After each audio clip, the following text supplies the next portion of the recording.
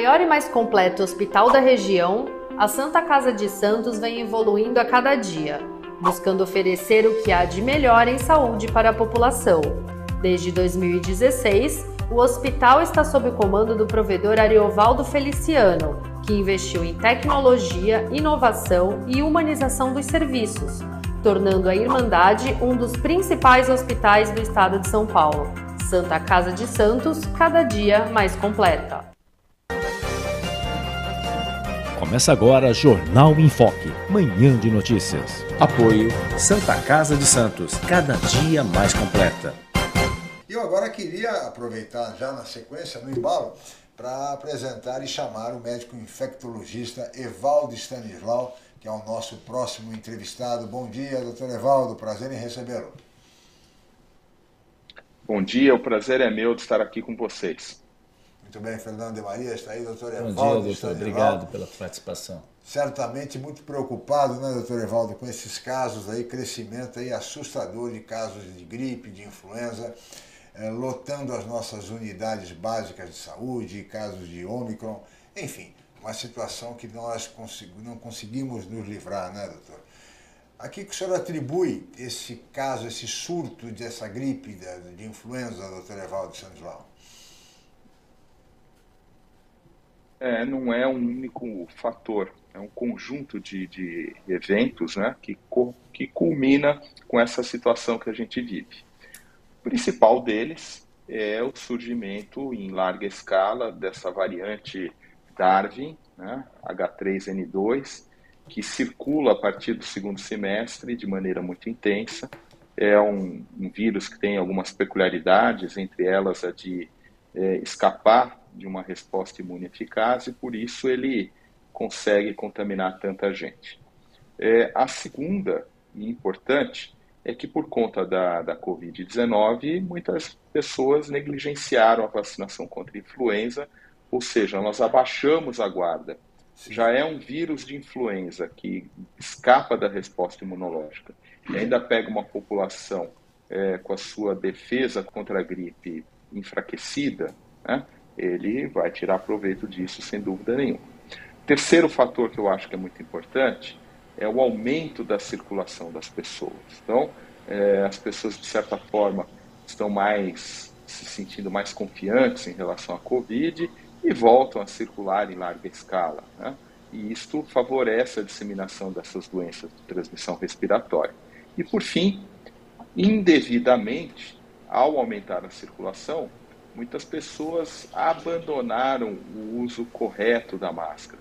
Então, qualquer um de nós que tenha tido a experiência de ter de fazer compras de Natal e andou nos lugares de, de comércio, tanto dos comércios populares até os shopping centers, pôde perceber que era uma multidão de pessoas fazendo compras, com uma significante, significativa parcela dessas pessoas com a máscara de nariz de fora, sem Sim. máscara alguma. Então, este conjunto de fatores resultou no que eu tenho chamado de uma tempestade perfeita, que é a gente enfrentar um surto de influenza, uma epidemia de influenza, exatamente no momento que a Omicron começa a desembarcar no Brasil, e mais do que desembarcar, já está alçando o voo e certamente é, em poucos dias ou semanas nós estaremos numa situação muito semelhante ao que a gente tem acompanhado em outros países. Preocupante, bem, né? Cenário preocupante. Doutor, bom dia, obrigado por ter. Uh, eu sei que sua agenda é muito ocupada mesmo, você dá entrevista em várias emissoras, ontem na Rádio Bandeirantes, obrigado. Uh, doutor, uma, uma questão importante: como que o senhor está uh, avaliando essa questão desse impasse por parte do Ministério da Saúde sobre vacinação em crianças também? Como que o senhor está avaliando esse cenário e os governos já disseram que não vão levar adiante essa proposta do Ministério da Saúde, os governos estaduais, mas assim, quais são os reais riscos aí que existem, apesar de dizer que, obviamente, é, não é tão importante assim mortes de crianças, né? Já foram mais de 3.500, inclusive, inclusive em Santos aqui a gente teve, tivemos casos nesse sentido. Houve uma nota técnica agora do Ministério da Saúde, né? é, parece que já definindo que a partir de janeiro teremos a vacinação das crianças de 5 a 11 anos. Né? Embora o ministro ainda tergiverse um pouco e diga que há necessidade de uma consulta pública, consulta então, mas a pública, nota técnica de certa forma, o próprio ministério desmente essa posição do ministro, dizendo que a vacinação terá início em janeiro, doutor Evaldo. Existe aquele conto árabe, não é? Que diz assim, que quando você faz um mal, né? É, você corta em mil pedaços e escreve, quer dizer, joga, e, e é difícil você recolher todos esses pedacinhos. Quer dizer, Sim, é o mal que é feito, ele é muito difícil de ser reparado. E esse é o grande problema que a gente enfrenta, Fernando. É, eu, eu tive a oportunidade de, de numa entrevista para a CNN, acompanhar um trabalho que uma repórter da CNN fez, que ela foi no interior do Amazonas, nos estados do Amazonas e do Pará, em pequenos municípios do interior, né, é, dessas regiões bem distantes, e lá, em algumas localidades, menos de 20% da população tinham tomado uma dose da vacina. E não era por falta de vacina, nem por falta de campanha, porque as prefeituras tinham vacina e faziam campanhas educativas. Elas não tomavam a vacina por medo, uhum. por desinformação. Né?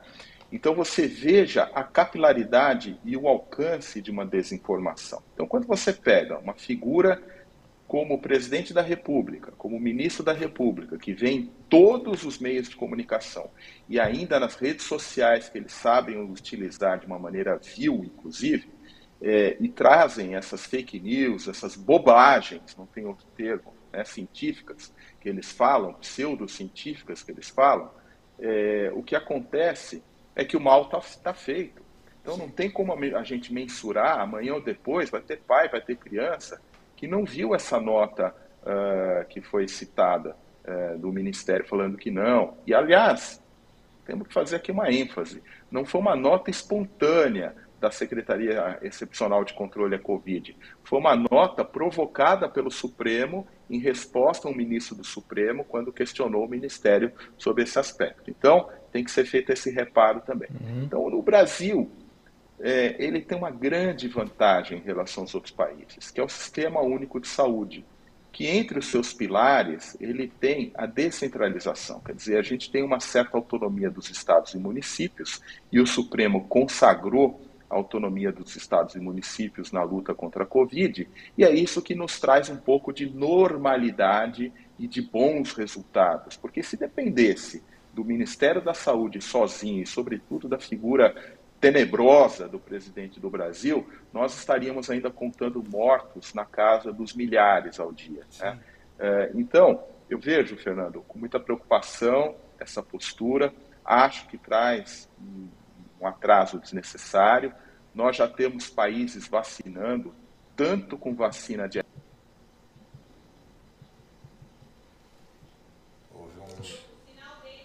sinal, sinal, Diego conexão com o Dr. Evaldo é, Houve uma falha aí do sinal, né? retomar. né? Eu, eu estou de volta. Acho que. Doutor, está nos ouvindo? Já retomou. É, eu não sei. Ouço bem, eu não sei áudio, quando que foi interrompido o meu sinal, mas eu dizia. O seu áudio, nós não estamos conseguindo. É... Vocês me ouvem? Muito baixo, doutor, muito, muito baixo. baixo. Se pudesse aumentar um pouquinho o seu áudio. Não sei se é possível se é aí, possível. senão a gente vai é, para um rápido intervalo? Eu, eu estou. Nós vamos fazer eu o seguinte, Dorival, vamos para um rápido Apple. intervalo e voltaremos em seguida e vamos tentar restabelecer a conexão. Voltamos já.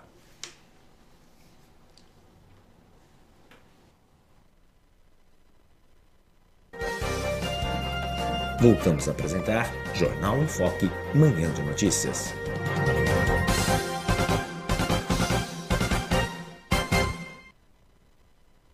O maior e mais completo hospital da região, a Santa Casa de Santos vem evoluindo a cada dia, buscando oferecer o que há de melhor em saúde para a população.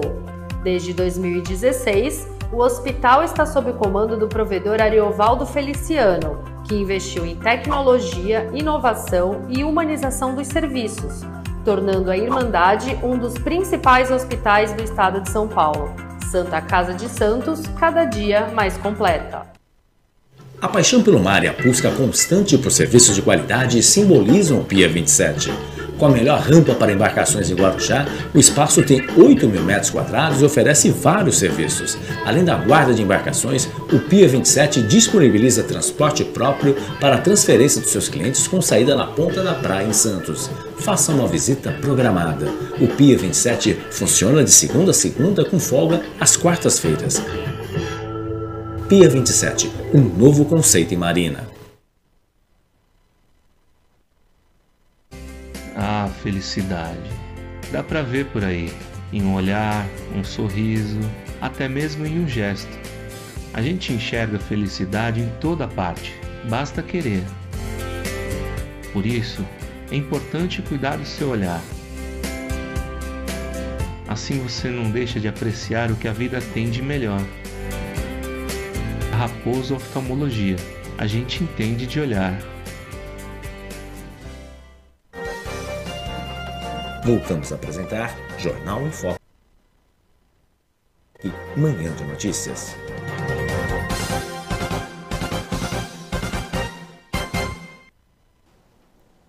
Muito bem, de volta com o Jornal em Foque, Manhã de Notícias. E agora entrevistando o médico infectologista Evaldo Stanislau. Caiu? O, o, caiu realmente o, o sinal do Dr. Evaldo caiu? não estava muito bom. Vamos tentar restabelecer o sinal aí, isso, enquanto isso, mostra essa preocupação do doutor Evaldo justamente a respeito desse aumento expressivo, as pessoas não usando máscaras. A gente está, que nem o, o doutor Evaldo comentou, a gente está vivenciando uma tempestade perfeita. Sim. Infelizmente, a gente vai ter uma concentração cada vez maior de pessoas, vamos ter uma concentração não só, já tivemos em razão das festas do Natal, isso vai se repetir, vai se avolumar ainda mais no Réveillon a região, a região uh, tem uma expectativa, os hotéis, rede hoteleira, mais 85% de capacidade.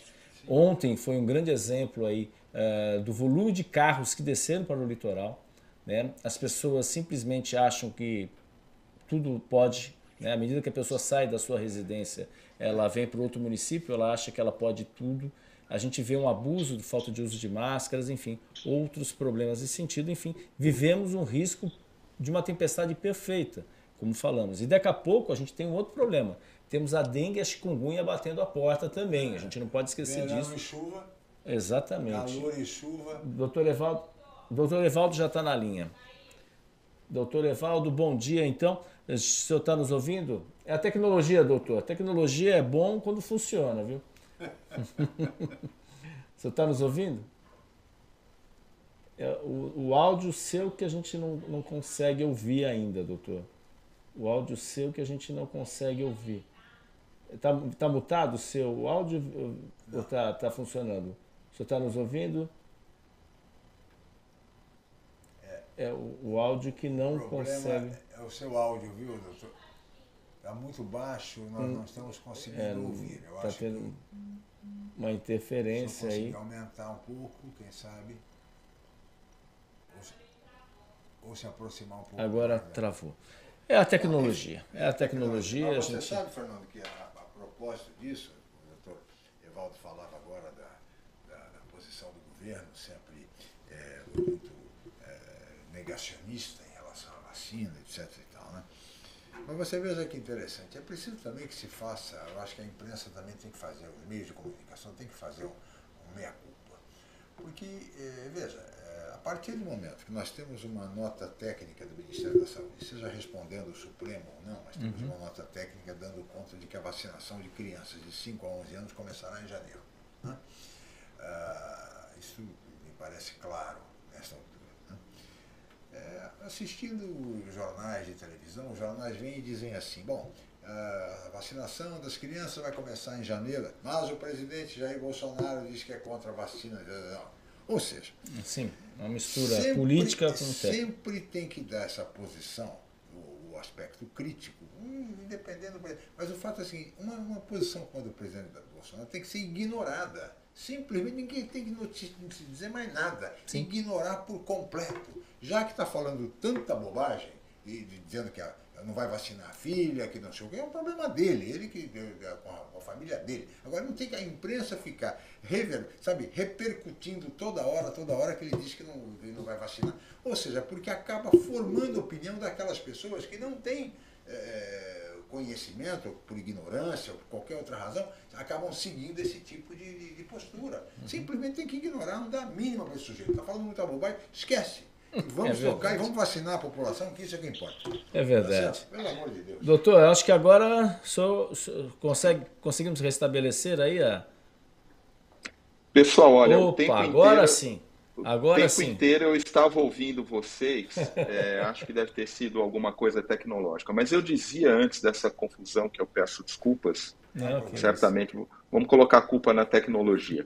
É, vejam, eu dizia que então o mal que foi feito está feito, e é uma pena, porque já temos países, já há algumas semanas, né, alguns já há mais de um mês, vacinando crianças, tanto com a vacina de RNA mensageiro, quanto a vacina de vírus inativado, que é a Coronavac, no caso do Brasil, e a Coronavac pode ser usada a partir dos três anos de idade.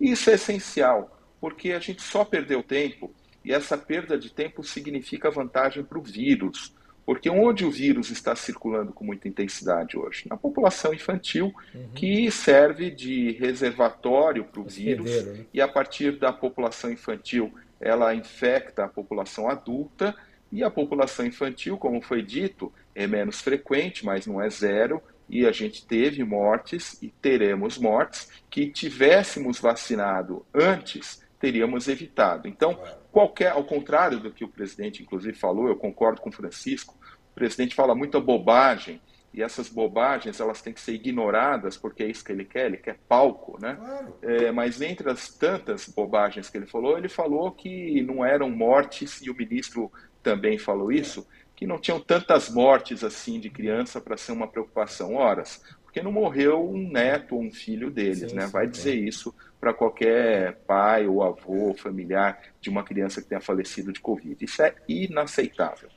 Muito bem. E tem que ser ignorado mesmo. E a mídia, e a mídia acaba fazendo um desserviço ao dar esse tipo de informação, ao, ao, ao dar repercussão a bobagem como essa. Tem que esquecer e trabalhar no sentido de que é preciso vacinar e vacinar o quanto antes. Falando nisso, doutor Evaldo, provavelmente as crianças serão vacinadas em janeiro com a Pfizer ou com a Coronavac. Há alguma vacina que seja mais, vamos dizer, menos agressiva para as crianças, cuja reação seja menor? Alguma recomendação ou qualquer das vacinas eh, pode ser tomada? É, Francisco, tecnicamente, nenhuma vacina é problema para a criança. Nenhuma vacina é problema para a criança. O problema é a doença. Uhum. É, a diferença, tanto a Coronavac, quando autorizada para as crianças, quanto a Pfizer, que já está autorizada para criança, Ambas são extremamente seguras, ambas são extremamente eficazes ao evitar morte e formas graves que necessitem de internação. E a Pfizer, por característica da maneira que ela é feita, por ser de RNA mensageiro, ela é mais imunogênica, é, ou seja, ela tem uma capacidade de induzir a produção de anticorpos de defesa um pouco maior do que a Coronavac. Mas isto é um predicado, é uma qualidade desta vacina é, que traz, evidentemente, uma vantagem a ela, mas que não diminui também a excelência da vacinação com a Coronavac, quando disponível, porque a Coronavac vai poder ser utilizada a partir dos três anos de idade, aí a gente ganha uma faixa etária ainda maior para proteger, porque eu quero insistir, ambas são extremamente seguras e extremamente eficazes ao evitar mortes e internações. Muito bem. Então, portanto, as pessoas, os pais, podem tranquilamente levar seus filhos para tomar a Pfizer ou a Coronavac. O importante é proteger as crianças. Isso é o que é o fundamental. Muito bem, doutor Evaldo, isso é, é ótimo. Eu, eu, queria só te passar para o Fernando, só, só a sua opinião a respeito dessa quarta dose que Israel estaria começando a aplicar, a estudar, enfim, no sentido de, de principalmente pessoas é, com comorbidades, enfim. Teremos a quarta dose no resto do mundo, doutor Evaldo? Francisco, é muito cedo para a gente dizer né, é, se é quarta dose ou se é uma dose de complemento. Veja, nós começamos a falar, vamos historiar um pouquinho, voltar para trás. A vacina da Janssen originalmente era uma dose. nós aprendemos que ela precisa de segunda dose. Todas as vacinas, de uma maneira geral, nós programamos duas doses. Nós aprendemos que precisava de uma terceira dose e hoje já se diz que o esquema vacinal básico, vacinação completa, seriam três doses. E eu assino embaixo disso, eu concordo com isso. Para você estar minimamente protegido, você precisa de três doses, sobretudo com a Omicron por aí. E agora surge essa questão de quarta dose. Né? É, provavelmente sim, nós teremos quarta, quinta, sexta. O que nós estamos calibrando é qual é o intervalo entre doses. Certo. Então, enquanto nós não tivermos toda a população do mundo protegida, enquanto nós não reduzirmos a circulação do vírus no mundo como um todo, eu só, tem, só estou sendo muito enfático quando eu falo mundo, porque não adianta o Brasil resolver o seu problema se o mundo não resolve, porque a gente já entendeu que o mundo é globalizado, as pessoas uhum. viajam, as pessoas se deslocam e trazem consigo o vírus lá de fora que sofreu alguma mutação.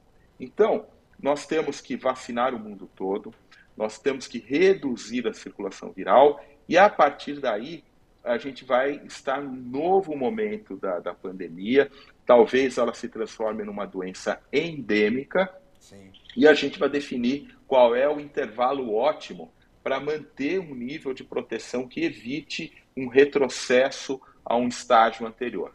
Nós não sabemos isso ainda. Esse estudo de Israel vai trazer informações importantes, mas eu diria para vocês, quarta dose, quinta dose, eu tomarei, meus filhos, meu, minha família inteira, todos os meus pacientes terão essa recomendação para tomar quantas doses sejam necessárias. Importante é vacinar e preservar vidas. Importante é a gente lembrar que há pouco mais de um ano não existia vacina. E em, em cerca de um ano, vejam quantas vidas a gente já salvou graças à vacinação. Quantas doses forem necessárias. Vacina é a solução e não tem que dar voz nem espaço para os ignorantes. Esses têm que ficar à margem, tá certo? Tem outra solução, Francisco. Tem outra solução, que é antiviral. Hoje, nós estamos num momento da doença que o nosso arsenal verdadeiro, né, para lutar contra esse vírus, ele foi ampliado. Então, hoje a gente tem a vacina no campo da prevenção, nós temos a máscara, a gente não pode esquecer da máscara, a máscara é essencial, é barata e acessível. E nós temos no campo do tratamento, um tratamento verdadeiramente precoce, com anticorpos monoclonais. Hoje nós já temos pelo menos um anticorpo monoclonal à disposição no Brasil. Né? E esses anticorpos monoclonais usados precocemente em pessoas com perfil epidemiológico para complicações, eles reduzem internações e morte. E nós temos, estamos, está chegando o antiviral, né, um antiviral que atua no vírus, destruindo o vírus e impedindo a instalação da doença na sua plenitude. É, nós temos o precedente do HIV, a, terapia contra HIV ela foi disseminada, era muito difícil, e hoje foi disseminada no mundo todo. Né? Hoje a gente tem tratamento de HIV no mundo todo, para todo mundo. Então a gente tem que usar essas boas é, lições que foram dadas por outras doenças aplicar na Covid e, além da vacina que você falava e nós defendemos, lembrar da máscara e lembrar dos anticorpos monoclonais e dos antivirais, que são tratamentos específicos que agora a gente tem para enfrentar a Covid. Boas notícias, portanto, que a ciência nos traz, né? Alternativas de, de, de solução dos problemas, né, Fernando? Sem dúvida, né? Boas alternativas aí, boas notícias, né? Para a gente ter mas e principalmente acesso né, dessas possibilidades também às pessoas, que as vacinas obviamente já existem, mas também os antivirais e outros medicamentos. Doutor, uma, uma questão, até a gente publicou uma matéria aqui no site uh, do bocnews.com, é que, por exemplo, independente desses números que houve aquele, os, os ataques hackers no Ministério da Saúde, mas Santos tem uh, um, posso dizer assim, uma diferença de números do Ministério da Saúde com a Prefeitura de Santos, no total de mortes por Covid, mais de 100 vítimas não estão computadas nesses números.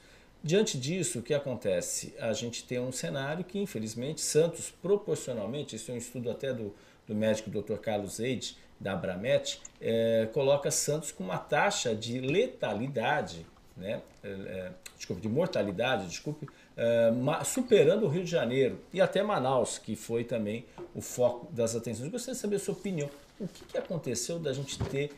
A prefeitura alega uma série de fatores, mas enfim, é uma distância muito grande, quase 5% no total de mortes. A nossa taxa é, é algo absurdo, quase meio por cento da população santista morreu pela Covid. E a gente tem um sistema de saúde até relativamente bom, com, principalmente uh, a, a, área particular privada. Que, como você analisa isso daí? O que, que aconteceu? Onde foi que Santos errou? À medida que tanto se fala que não faltaram leitos, tudo, mas uh, isso aconteceu. Se não faltou leito, que aconteceu? O atendimento que foi falho, doutor? O senhor acredita que isso tenha acontecido, especialmente lá no ano passado?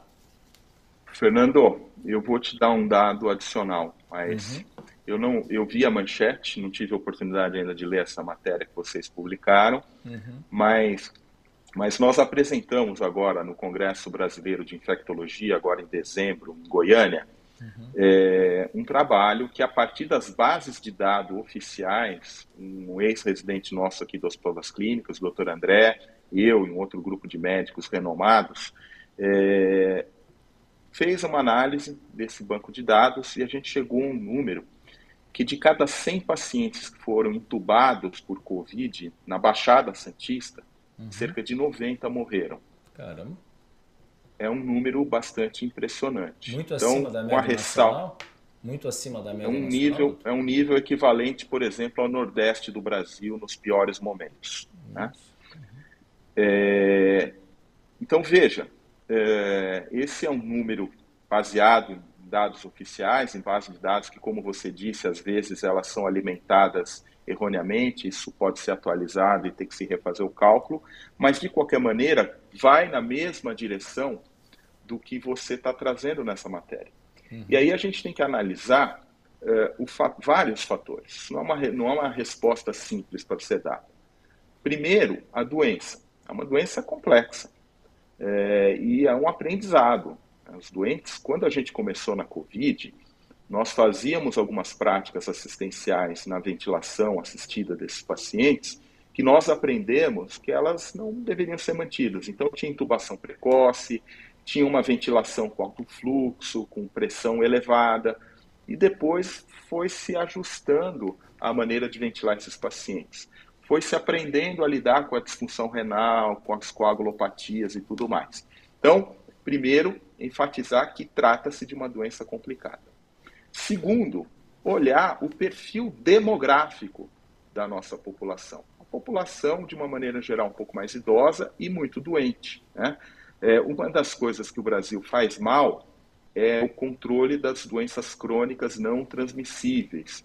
Então, vamos, vamos abolir aqui, vamos fazer de conta que a Covid não existe, vamos voltar no tempo, da, três anos atrás, Fernando. Certamente você fazia matérias sobre a uhum. dificuldade de assistência a câncer, doença cardíaca, Sim. doenças ortopédicas aos idosos, mostrando que nós tratamos mal as doenças crônicas não infecciosas que abundam nessa população mais idosa. Então, é um passivo que nós temos na nossa região. Então, a demografia e o mau controle das doenças crônicas. Em terceiro lugar, a gente tem que colocar a emergência da noite para o dia, é, imagina, Fernando, que você tem que montar, é, você recebe uma, uma demanda de ampliar o Boc News para ser um jornal internacional e que uhum. amanhã, ao meio-dia, você tem que estar tá transmitindo para o mundo inteiro e tem que estar tá com a edição com 100 páginas diária do Boc News para distribuição global. Como é que você vai fazer uma operação de guerra dessa, Fernando? Você vai contratar um monte de gente, colocar a turma toda aí, e no meio, certamente, vai ter página que não foi revisada adequadamente, vai ter problema e tal. É isso que aconteceu na Covid. Você precisou trazer muita gente que não era da área de terapia intensiva, você precisou colocar muitos profissionais é, não treinados adequadamente para vir atender. Porque era fazer isso ou deixar as pessoas morrerem na rua, morrerem sem assistência mínima que fosse. Então, o conjunto, o conjunto, ele trouxe esse preço muito elevado é, em termos de vidas.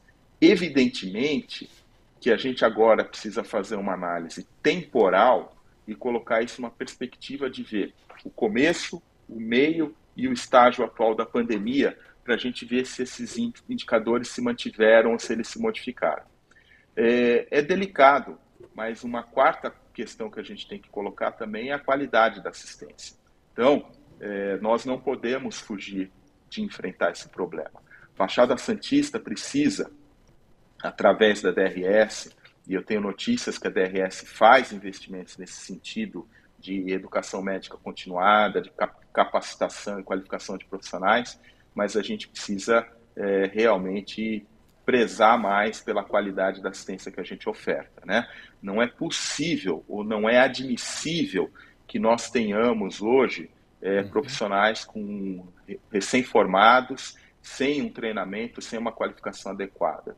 É, Fernando, se eu compro um serviço de saúde é, e eu coloco num contrato que eu quero é, um padrão de qualidade e determinados indicadores, a fiscalização do cumprimento desse contrato ela tem que ser rigorosa para que eu tenha os indicadores verdadeiros e para que eu tenha a qualidade que eu estou pagando.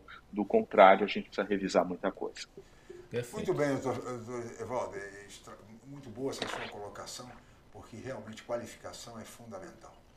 Infelizmente, perdemos muitas vidas em razão disso, que o senhor acabou de dizer país em que um dos últimos exames do CREMESP, né, o Conselho Regional de Medicina de São Paulo, para residentes, registrou um resultado desastroso, onde 70% dos, dos avaliados não souberam identificar um caso simples de infarto do miocárdio, não conseguiram identificar e, portanto, foram reprovados no exame do CREMESP, reprovados, mas que exercem a profissão, porque podem exercer a profissão mesmo sem ter o CRM.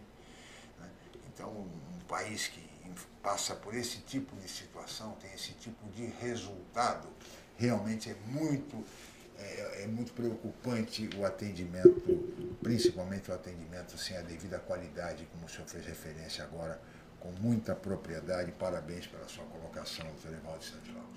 Fernando, não sei se tem algo mais. Não, dizer, não, acho não? que essa colocação do doutor Evaldo foi perfeita Definitiva. aí, até para para a gente ter entendimento aí, acho que esse estudo aí, até a gente se coloca à disposição para divulgar mais detalhadamente com os profissionais, né, que o senhor comentou aí, o senhor e outros profissionais, a gente fica o espaço também para divulgar mais esse estudo recente que foi apresentado nesse congresso, e eu acho que a gente, a Baixada precisa discutir melhor esse tema, porque não adianta uh, falar que foi isso, foi aquilo, mas a gente sabe que ocorreram muitas mortes e infelizmente poderiam ser uh, resolvidas, não é falta de assistência, né? Não, é falta de leite. Né? É assistência e qualidade. É, a questão é, é, erros que aconteceram, uma soma de fatores. Aquela solução, entuba, olha, não está já interna, UTI, entuba e dali a 14 dias morre. Era basicamente isso. Exatamente. É, Acho que isso precisa é, ser melhor renais, discutido. Problemas disso, daquilo. Enfim, é, eu, eu queria só enfatizar o que eu falei, é, para até ser justo. Uhum. É... Pois não. Oi, pode falar. Pode doutor. falar, doutor. Pode falar, doutor. Oi, doutor. Acho que travou. Um problema de áudio, áudio mais uma vez, doutor Ivaldo. Acho que. Não, não. Ele travou mais uma é vez. É a tecnologia, doutor, não é fácil tecnologia. É difícil, doutor, esse é o Brasil. Enfim. Certamente, ele, obviamente, não sei, o doutor falou também o trabalho que foi desenvolvido claro. por N profissionais, não Sem só dúvida. médicos, fisioterapeutas, nutricionistas. Oi, doutor, já voltou? Então, não, só para só enfatizar, pessoal, é, eu coloquei uma série de condições que contribuíram para esses desfechos e uma delas, e eu quero voltar a isso, é a complexidade da doença. Uhum. Lembrando que existem evoluções que são inexoráveis. Vocês vejam que hospitais de excelência, pessoas que tiveram acesso a absolutamente tudo, Sim. e algumas celebridades, né, é, inclusive, faleceram a despeito disso. Então, entre todos os fatores, um deles é a grande complexidade da doença e a gente não pode deixar de enfatizar isso. Perfeito. Sem dúvida nenhuma. Sem dúvida. Doutor Evaldo, muito obrigado aí pela sua participação. É, tivemos esses probleminhas de conexão, enfim, de áudio, mas conseguimos. Eu acho que foi uma bela entrevista. Muito obrigado pelos seus esclarecimentos, mais uma vez, pela sua disponibilidade, doutor Evaldo Standlau.